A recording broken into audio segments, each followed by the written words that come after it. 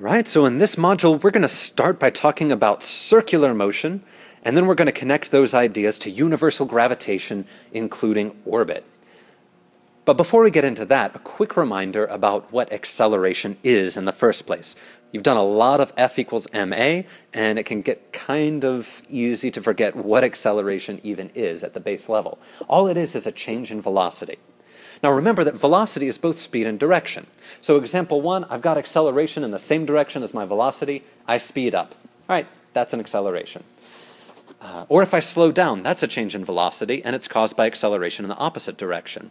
There's a third option, and that is if I turn, then I'll have some component of acceleration at 90 degrees to my velocity, uh, and that's also an acceleration. Even if I don't change speed, if I change direction, because velocity is a vector with both speed and direction, I have changed velocity. So that's an acceleration. So, when we travel in a circle and when we get that sort of acceleration at 90 degrees causing a turn, uh, there's a little thing called an object's period. And that is the amount of time it takes one, uh, to complete one trip around the circle.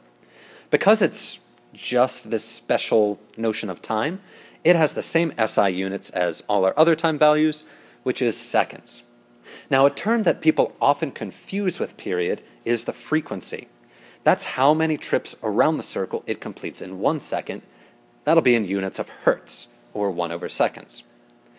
This can get confusing, so read the problem very carefully and understand if you're given the amount of time for one circle trip, or the amount of one circle trips what the amount of one circle trips that doesn't even make sense. The amount of circle trips in one second. There it is. Because those are two completely different things. In fact they're so different they are inverses of each other. So i can always find if i've given the period i can find the frequency uh, period is 1 over frequency or frequency is 1 over the period. But they are complete inverses of each other, so be very, very careful as you read your questions as to whether you're given frequency or period. Ah, and then there's a special type of velocity called angular velocity. This is simply just the rate at which something travels around a circle. You're used to velocity being a change in distance over time. Well, now that I'm traveling in a circle, I've got some sort of middle point, and I'm going to be traveling around it, keeping the same distance from it, until I get to a full 360 degrees. But as I travel, I'm changing my angle relative to that central point. And that angle is defined as theta. So whereas regular velocity is change in distance over time, angular velocity is change in theta over time, where theta is measured in radians. Now every circle has 2 pi radians. That's the same thing as 360 degrees. And the amount of time that I take to complete a circle is called a period. So if my change in theta is 2 pi, and my change in time is 1 period, generally I'll find the angular velocity with this equation right here, 2 pi over t. Now if I'm given the frequency instead of the period, since period and frequency are inverses of each other, I can also just write this as 2 pi f. Now, there's another type of velocity when you're traveling in a circle. It's not just how much of an angle do you cover, we also care about how fast you're actually moving. And that's the good old meters per second that you're used to. That's called the linear or tangential velocity. So it's just, yeah, distance over time. Now, when I travel in a circle, if I complete one full circle, that full circle is called a circumference. And I know from geometry class that the equation for circumference is 2 pi r, where r is the radius of the circle. Um, okay, so if linear velocity is how fast I'm traveling, distance over time, well, I'm traveling a distance of 2 pi r meters around the circle over the course of one period if I'm completing one circle. So that means my velocity can be described as 2 pi r over t or 2 pi r f. Now notice how very similar this equation looks to my angular velocity equation. Wow, since omega equals 2 pi over t and v equals 2 pi r over t, well, I can take my velocity equation, rewrite it as simply 2 pi over t all times r, and then replace this 2 pi over t with omega. because that's what it is. So I end up with v equals omega r, where r is the radius of revolution. So this means I can have, let's say I've got two objects attached to a string, and that string is just going at a regular rate around a circle. That means both of these objects have completed 2 pi radians in the same amount of time. Their angular velocity is the same. But the outside object had a greater distance to travel, so its circumference is bigger. That means it had a greater linear velocity. So an object on the outside might move faster than an object on the inside, assuming that they've got the same angular velocity. Um, we'll find that that's not the case with orbit. The planets do not have the same angular velocity, and in fact, you move closer the f- or faster the closer in you are. But we're just comparing straight up raw angular velocity to linear velocity right now. And you'll find that a lot of your same equations will hold. In fact, the position equation, the velocity equation, and the combo equation are all still valid, but now I can just replace every variable with its angular equivalent. If I'm interested in uh, how many radians it's covered in a certain amount of time, or if I'm interested in how fast it's moving after a certain amount of time, or something like that. Um, this also incorporates angular acceleration, which we'll talk about a little bit later. Now, when I'm actually when I'm forcing something to travel in a circle, I need to be, surprise, surprise, exerting a force on it. Nothing's going to travel in a circle unless there's a force causing that to happen. Um, think about Newton's first law. An object will move, uh, an object in motion stays in the same motion unless acted on by an outside force. Well, if I'm turning, that's not the same motion. There's got to be a force causing that. So Newton's first law is often called the law of inertia. Inertia is just an object's tendency to keep doing what it's already doing.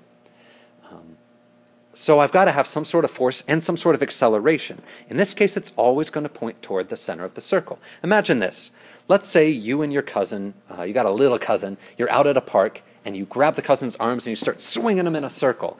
And their legs fly out uh, away from you, and they're almost horizontal and they're squealing and everyone's having a great time. Here's what an overhead view of that might look like. Man, that's a horrible drawing. But there you are in the middle, and your cousin is flying outward as you travel in a circle like this. Now, at each point in the circle, the only reason your cousin isn't flying to the outside is simply because your arms are pulling, and you're pulling with a force. So when your uh, when your cousin is here, you're pulling in this direction. When your cousin's off to the left, you're pulling in the rightward direction. When your cousin's down below, you're pulling this way. And when your cousin's off to the right, you're pulling in the leftward direction. So your pull, your force, always is pointing toward the center of the circle. That's the direction the, uh, the acceleration goes as well. And an equation for that acceleration is just going to be v squared over r.